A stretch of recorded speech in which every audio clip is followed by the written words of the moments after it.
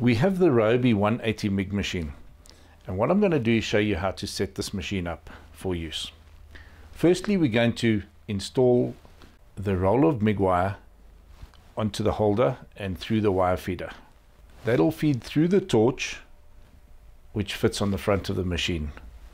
What we do is we put the polarity plug into the positive and we put the earth into the negative. Once this is done, we're ready to weld. Now to set up the voltage and speed settings, we would set the voltage to around about 18.4 to 19 volts, which is your heat, and the wire speed we will set quite a bit faster. This, once welding, we can set down to the correct speed.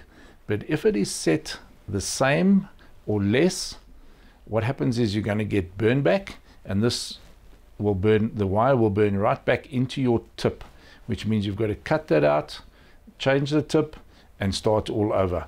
So always have the wire feeding slightly faster than what the volts are set.